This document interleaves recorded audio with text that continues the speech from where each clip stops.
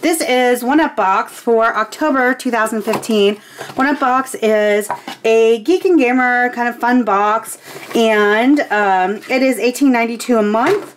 And the way they packed it this month, the card was in the bottom, which I sort of hate. I always want my card at the top. Um, and I will tell you, I was a little confused because there's usually uh, the theme on one side and it was this giveaway thing. And um, I'll show you why it wasn't on there in a little bit, but this is the info card. I think this info style of info card is fun and I, I happen to like it. And the first thing I got was this um, paracord bracelet. This was like the one that was in Loot Crate a couple months ago, and it's a bracelet where you can just kind of clip it on your backpack.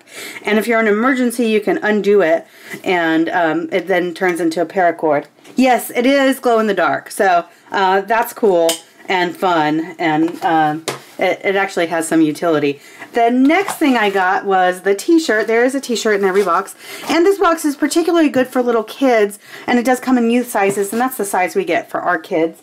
And this is the Apocalypse t-shirt. Um, the ghosts are trying to catch us all.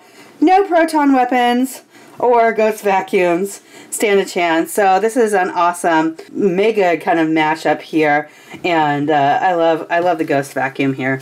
Love it.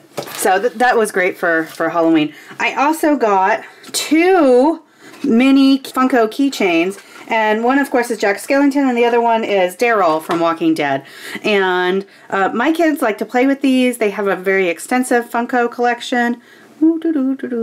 And you might notice little holes in their head, and that's because I take out the keychains for them. They don't have any need for keys. So um, we love these, and they're super fun. And to get two of them in this box was really, really fantastic. It's $18.92 a month. This is the Boo mask. Obviously, it's a sleeping mask. Pop Rocks Cotton Candy Explosion. That's just a little fun item.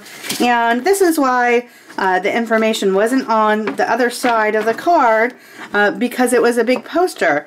And um, that's fun. Unfortunately, I don't really like folded posters because they're folded. But the kids seem to like them. And uh, this is really cute. And uh, especially up here. We got all sorts of...